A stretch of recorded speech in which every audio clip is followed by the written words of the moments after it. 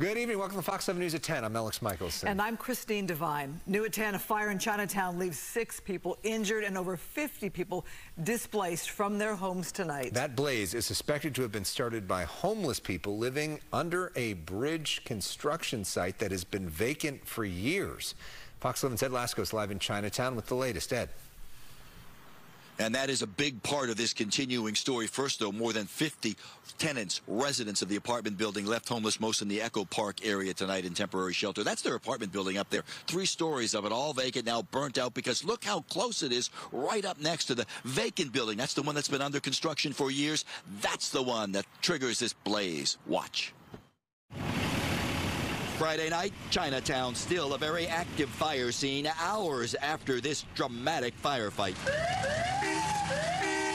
fire out of control, raging through this vacant three-story apartment building, still under construction. It is burning hot with its wooden framework, even collapsing. Intense fire that spreads fast next door, but this apartment building is occupied. When our firefighters were going there for the initial fire attack, they also were helping to evacuate people.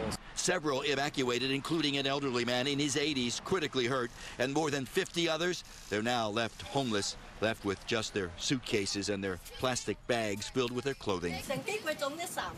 They're trying to get what's left of their stuff, and like many here, hoping the Red Cross can find them a place to stay, they're building now red tagged. They are trying to figure out a uh, another hotel for for for us and then, but right now, they settle down the, everybody in the, in the park right now. That as arson investigators use their specially trained dog to sniff out accelerants as neighbors have filed countless complaints with the city, complaining and over and over again about the homeless squatting, camping out and setting fires in the unfinished building. Only this time, that fire took off. We've been calling the city for months about this. They've done absolutely nothing, and we knew this was coming.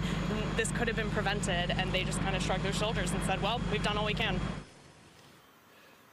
And now, live, that is the exact part of why some of these neighbors are very upset tonight, even pulling me aside saying, I can't believe it. What they're upset about, how many times have you heard officials tell us, tell everybody, you see something, say something?